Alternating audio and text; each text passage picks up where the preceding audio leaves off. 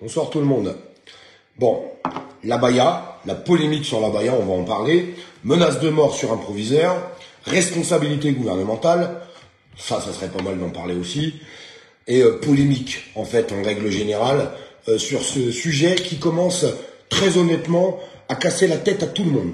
À casser la tête à tout le monde. On n'entend parler que de ça. J'ai l'impression qu'il n'y a pas d'autre problème dans ce pays. J'ai vraiment cette impression. Cette polémique qui pour moi n'a pas lieu d'exister. Je vais vous expliquer pourquoi. On est tous pour la démocratie, référendum, parole citoyenne. On est tous pour ça. En tout cas, la majorité des gens sont pour ça.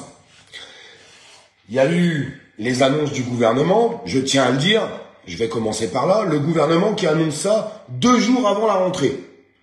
Non, alors ils n'ont pas annoncé ça pendant euh, l'été, comme ça le débat aurait pu se faire. Non, non, on a annoncé ça deux jours avant la rentrée, et les proviseurs, démerdez-vous avec ça. Démerdez-vous avec ça. Ils sont très très forts au gouvernement. Très malins surtout.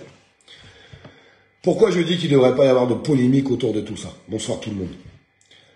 Regardez tous les sondages. Que ça soit des sondages. Alors ces sondages-là, moi j'y fais pas trop confiance les sondages qu'on peut voir à la télévision qui sont lancés euh, indirectement par le gouvernement. Mais vous avez les sondages aussi qui sont sur des émissions en direct. Vous avez les, sondages qui ont été lancés sur Twitter, des sondages qui ont été lancés sur Instagram, des sondages qui ont été lancés sur Facebook, des sondages qui ont été lancés euh, sur plusieurs plateformes. Partout. Des sondages lancés par des citoyens. Par des citoyens, mes amis.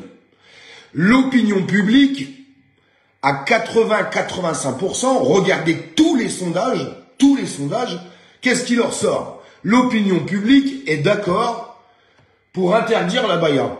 Alors la question, elle se pose plus en fait. On n'en a rien à foutre du gouvernement à la rigueur. Moi je vous le dis très honnêtement, on s'en fout.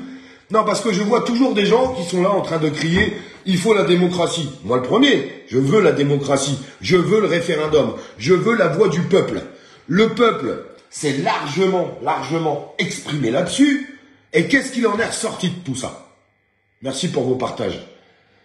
Ben, il en est ressorti que le peuple, en majorité, à 85%, est d'accord pour interdire la baya. Eh bien, écoutez, moi je veux que la France, je veux qu'en France, on écoute la voix du peuple. Je veux qu'en France, ça soit le peuple qui soit décisionnaire des grandes décisions de ce pays. Le peuple s'est exprimé. On va encore en parler pendant dix ans ou pas? Parce que là, c'est en train de monter. Et aujourd'hui, un père de famille a menacé d'égorger un proviseur. Ça, c'est une honte. Ça, c'est une honte. Qu'est-ce qu'on veut? Qu'est-ce qu'on attend? On veut un deuxième Samuel Paty? C'est ce qu'on veut vraiment? Je pose la question à tout le monde. Est-ce qu'on veut un deuxième Samuel Paty? Ce père de famille qui a proféré des menaces contre un proviseur en disant je vais t'égorger doit être lourdement sanctionné. Moi, c'est ce que je pense. Et à mon avis, mon petit doigt me dit qu'on est beaucoup à penser comme moi. Il y en a marre de ce faux débat. Je vais vous dire pourquoi il y en a marre de ce faux débat. Premièrement, parce que l'opinion publique s'est exprimée. On doit respecter l'opinion publique dans ce pays. Quand on est pour la démocratie, on doit respecter l'opinion publique. J'ai l'impression qu'il y a des gens, l'opinion publique, les référendums, euh, tout ce qui tourne autour de tout ça, euh, ils en veulent que quand ça les arrange en fait. Non, parce que c'est un petit peu la vérité? En attendant, le gouvernement n'a toujours pris, n'a toujours pas pris de mesures contre le harcèlement scolaire. La seule mesure qu'il a prise, je vous le répète, je l'ai déjà dit, un élève qui a fait du harcèlement, on le déplace d'établissement, comme ça il peut continuer à faire du harcèlement dans un autre établissement. Moi je suis désolé, dites-moi ce que vous en pensez. Un élève qui fait du harcèlement scolaire doit être mis dans une école disciplinaire, avec des sanctions juridiques. C'est quand même pas compliqué à faire il me semble. Parce que je vous rappelle aussi qu'il y a déjà un enfant de 15 ans qui s'est pendu à cause du harcèlement scolaire il y a deux jours. Et on va nous faire chier avec ces fausses polémiques. Les gens ont le droit d'avoir leur avis, en fait, sur la baya. Ils ont le droit d'avoir leur avis sur la baya. Mais la majorité des gens, des citoyens de ce pays, se sont exprimés. Si le gouvernement avait été intelligent, alors, il est intelligent, je vais vous expliquer pourquoi il a fait les choses comme ça. Il aurait tout simplement fait un référendum. Et on voit à travers tous les sondages qui sont faits par des citoyens sur les réseaux sociaux, On a compris où était l'opinion publique, eh bien il faut savoir la respecter. Pourquoi le gouvernement n'a pas fait de référendum? Parce qu'à travers toute cette histoire, eh bien eux ils se frottent les mains, ils sont encore en train de diviser tout le monde. Bien joué le gouvernement, bien joué. Voilà où on en est aujourd'hui. Voilà ce qu'ils ont fait. Voilà moi ce que j'en pense aujourd'hui de cette rentrée scolaire. Voilà ce que j'en pense de la Baïa. Je respecte l'opinion publique. Point. Quand on est pour la démocratie et qu'on n'arrête pas de crier au référendum, on respecte l'opinion publique. Point final. Sinon, il ne faut pas appeler à la démocratie. C'est du flanc. Juste du flanc. Voilà ce que j'en pense des décisions gouvernementales sur le harcèlement scolaire. Zéro. Absolument zéro. Voilà ce que j'en pense quand un père de famille dit à un proviseur, je vais t'écorger. Sanction très très forte.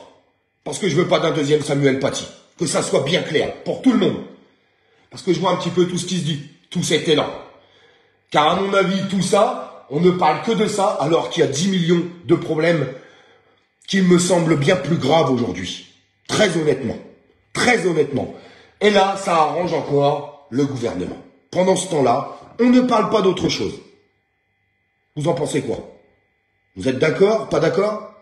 J'aimerais savoir ce que vous en pensez dans les commentaires. Et puis les gens qui sont d'accord avec tout ce qui a été dit sur ce live, moi je vous demande de le partager encore une fois de plus, pour que ça puisse remonter là-haut. Parce que ça serait pas mal que ça vienne à leurs oreilles. Voilà ce que j'en pense, et j'en pense qu'il est grand temps de passer à autre chose. Grand temps de passer à autre chose à partir du moment que l'opinion publique est d'accord avec cette décision.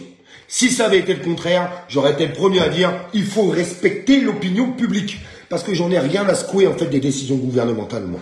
Moi, ce que je regarde, c'est les citoyens de ce pays, ce qu'ils veulent et ce qu'ils en pensent. C'est ça qui est important. Beaucoup de gens veulent une politique avec une vraie démocratie, avec du référendum. Eh bien, il y a certaines personnes, j'ai vu ce qu'ils ont pu dire, ce qu'ils ont pu publier, bah je me dis qu'ils sont pas prêts à ça, c'est faux. Parce que quand ça les arrange pas, eh ben on n'écoute pas l'opinion publique. Ben c'est pas normal. Honnêtement, c'est pas normal. Moi, la vision politique de demain, c'est la parole du peuple pour le peuple. Une majorité du peuple a décidé que on fait. Point final. Point final. La vraie démocratie, c'est ça.